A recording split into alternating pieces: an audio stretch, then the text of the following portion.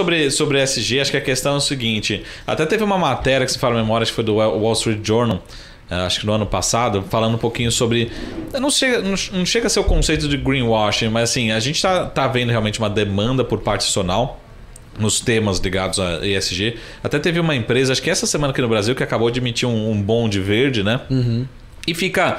Realmente você tem um prazo maior, você tem um, um a, custo. A, a Suzana emitiu um tempo atrás um bônus verde com juros ridiculamente baixos, acho que foi 3 ou foi 3,50% ao ano, com metas ambientais. Né? Então acontece assim, o bônus É, verde está cada é. vez mais, mais forte. E, e- e- e- tem essa demanda, né? Tem essa demanda Tem. cada vez, cada vez maior. Mas a, a, a crítica do, desse artigo que era o seguinte: é, muitos dos fundos eram os mesmos fundos, né? O mesmo fundo que compra as mesmas ações, só que aí, para ele ter esse mandato para receber esse capital, esse recurso, ele só colocava lá um, né, um, um hedge fund, não sei o que, ESG, né? É o mesmo fundo, né?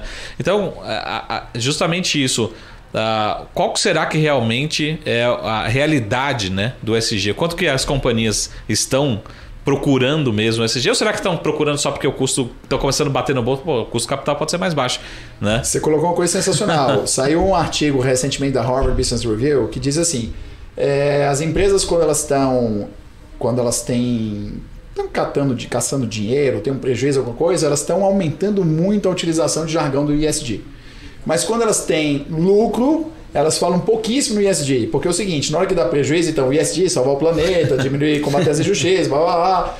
Mas quando elas estão dando lucro, então eu sou um grande gestor, se você está vendo a minha administração, eu cortei custo, eu fiz isso, eu fiz aquilo, eu entendi o mercado. Então o que a gente precisa entender aqui é que cada vez mais esse tema ele vai ficando mais sério, é uma depuração natural. Então, por exemplo, a SEC, né, americana, que é como se fosse o equivalente à CVM, Security, ah, aqui todo mundo, o nosso público é qualificado do, do ramo de investimento, mas enfim, a Security Exchange Commission, ela recentemente ela entrou com uma ação cobrando alguns bilhões de dólares de uma determinada empresa brasileira, tá? Aham. Que é, foi o primeiro caso, porque essa empresa brasileira teria apresentado informações materiais incorretas em seus reportes eh, ligados a ESG.